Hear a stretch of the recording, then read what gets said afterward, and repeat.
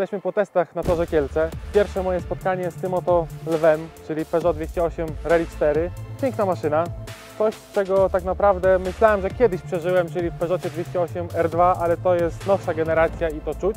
10 lat różnicy zrobiło swoje. Bardzo przyjemnie prowadzący się samochód, bardzo przewidywalny, bardzo skuteczny.